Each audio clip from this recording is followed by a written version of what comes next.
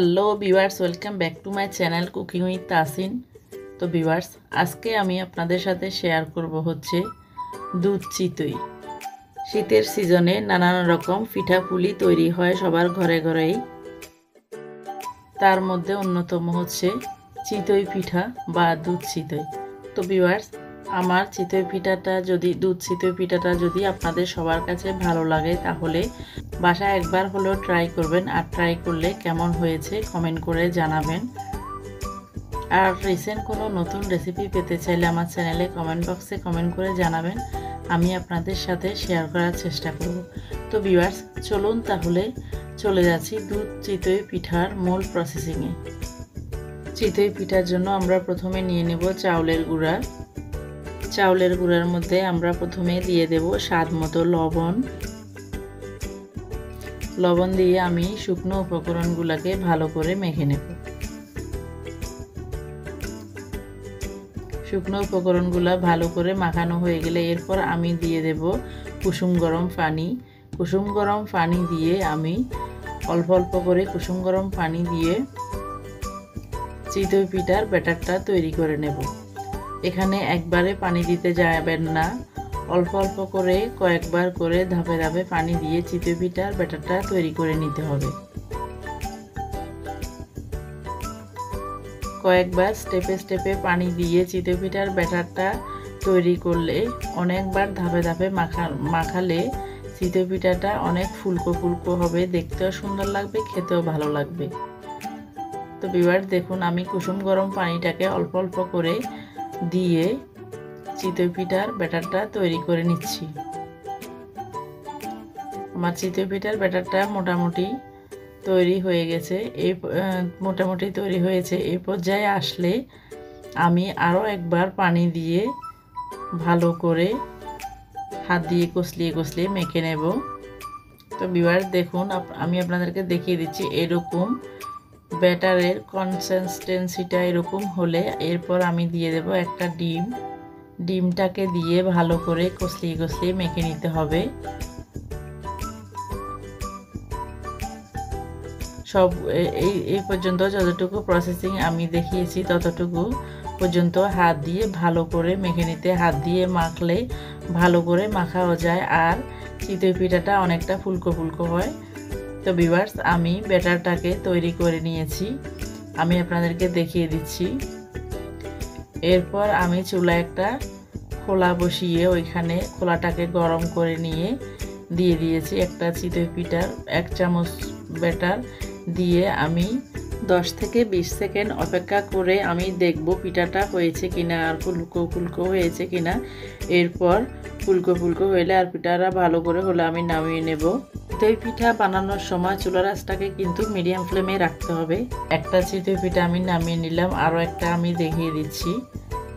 তো বিবার যতবারই চিতই পিঠার ব্যাটারটা গরম খোলার মধ্যে দিবেন চিতই পিঠা বানানোর জন্য ততবারই ব্যাটারটাকে চামচ দিয়ে নেড়ে নেড়ে কয়েকবার করে নেড়ে নেড়ে ভালো করে মিক্স করে চিতই পিঠার ব্যাটারটা খোলার মধ্যে দিবেন। তাহলে কিন্তু চিতই পিঠাটা অনেকটা ফুলকো ফুলকো হবে আর দেখতেও সুন্দর লাগবে।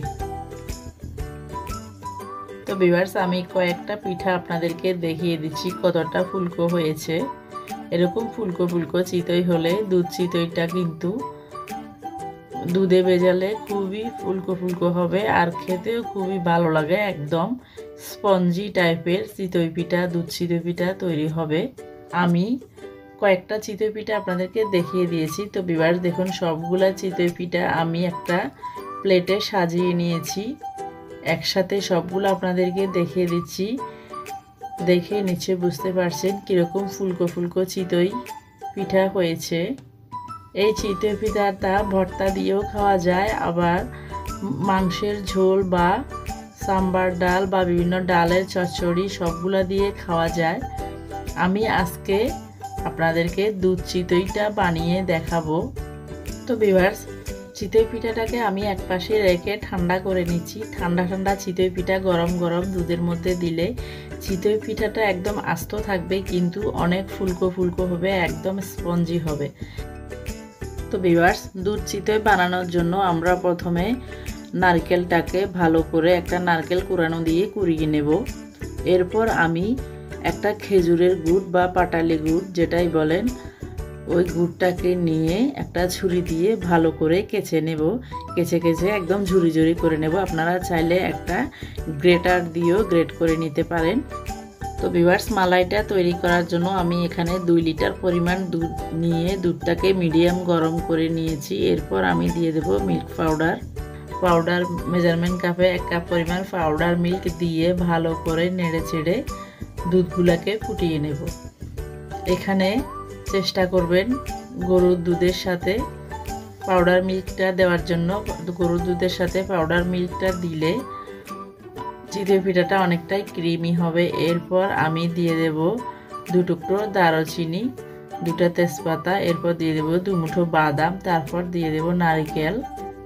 দিয়ে আমি ভালো করে নেড়ে চেড়ে দুধগুলাকে ফুটিয়ে নেব। ফুটে ওঠা দুধের মধ্যে খেজুরের গুড়গুলাকে দিয়ে দিচ্ছি।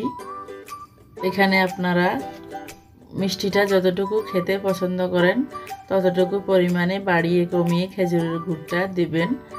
এরপর আমি খেজুরের গুড়টা দিয়ে আস্তে আস্তে নেড়ে ছেড়ে সবগুলা খেজুরের গুড় দুধের সাথে মিক্স করে নিচ্ছি।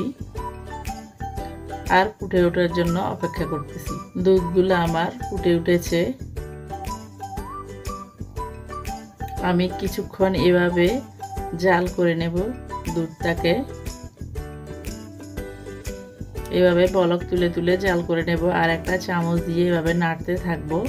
তাহলে এরকম ঘন ঘন করে নাড়লে দুধের মালাইটা অনেকটা ক্রিমি হবে।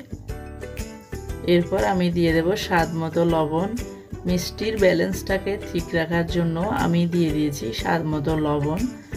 লবণটা দিলে কিন্তু চিতই পিঠার মালাইটা একদম মুখে লাগার মতো স্বাদ হয়, এজন্য আমি মিষ্টির সাথে খুবই সামান্য পরিমাণে লবণ দিয়ে দিলাম। দিয়ে আমি দুধগুলাকে জাল করে নিচ্ছি আর থেকে থেকে এভাবে চামচ দিয়ে নেড়ে দিচ্ছি। একদম ঘন করে নিয়েছি। এরপর আমি চিতই পিঠাটাকে গরম গরম মালাইয়ের মধ্যে ঠান্ডা চিতই পিঠাটা দিয়ে দিচ্ছি। এইভাবে গরম গরম দুধের মধ্যে ঠান্ডা চিতই পিঠাটা দিলে চিতই পিঠার মধ্যে মালাইগুলোও ডুববে আর চিতই পিঠাটা একদম ভাঙবে না, আস্ত থাকবে। এরপর আমি ঢেকে দিয়ে ওভারনাইট নর্মাল রুম টেম্পারেচারে রেখে দিব। এরপর একটা সার্ভিং ডিশে নিয়ে নিচ্ছি। তো বিবাস দেখুন, আমার একটা চিতই পিঠাও ভাঙেনি। একটা একটা করে আমি দেখিয়ে দিচ্ছি। দেখতে কেমন স্পঞ্জি আর সফট হয়েছে আর একদম আস্ত রয়েছে। আমি যেই প্রসেসে চিতই পিঠাগুলা, দুধ চিতইটা বানিয়েছি, ওই প্রসেসে বানালে একটা চিতই পিঠাও ভাঙবে না। তো বিবার দেখুন, কালারটা কতটা সুন্দর হয়েছে। দেখতে যেমন সুন্দর হয়েছে, খেতেও কিন্তু অনেক মজা হয়েছে, অনেক ইয়ামি হয়েছে। একদম সফট স্পঞ্জি হয়েছে। আর চিতই পিঠাটাও কেমন আস্ত রয়েছে।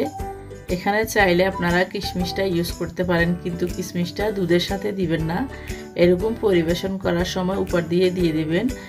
দুধের সাথে যদি কিশমিশ দেন, তাহলে কিন্তু দুধটা ফেটে যাবে। এই জন্য চেষ্টা করবেন পরিবেশন করার সময় যারা কিশমিশ পছন্দ করে, তাদের চিতই পিঠার মধ্যে কিশমিশটা দিতে, আর যারা পছন্দ করে না, তাদের মধ্যে, তাদের চিতই পিঠার মধ্যে না দিতে। তো বিবাস দেখুন, আমি একটা চিতই পিঠা আপনাদেরকে কেটে দেখিয়ে দিচ্ছি, কতটা স্পঞ্জি হয়েছে আর কতটা ফুলকো হয়েছে। তো বিভার্স দেখুন, কতটা ফুলকো হয়েছে আর কতটা স্পঞ্জি হয়েছে। আমি একটা অংশ কেটে দেখিয়ে দিয়েছি, আরও একটা অংশ আপনাদেরকে কেটে দেখিয়ে দিচ্ছি। দেখতে যেমন লোভনীয় লাগতেছে, খেতেও কিন্তু অনেক মজা হয়েছে। তো ভিভার্স আমার আজকের রেসিপিটি যদি ভালো লাগে, তাহলে বাসায় অবশ্যই ট্রাই করবেন। আর রিসেন্ট কোনো নতুন রেসিপি পেতে চাইলে আমার চ্যানেলে কমেন্ট বক্সে কমেন্ট করে জানাবেন, আমি আপনাদের সাথে শেয়ার করার চেষ্টা করব। তো ভিভার্স আমার চ্যানেলকে লাইক কমেন্ট শেয়ার ও সাবস্ক্রাইব করার অনুরোধ জানিয়ে আজকের মতো এখানে বিদায় নিচ্ছি। থ্যাংকস ফর ওয়াচিং আসসালামু আলাইকুম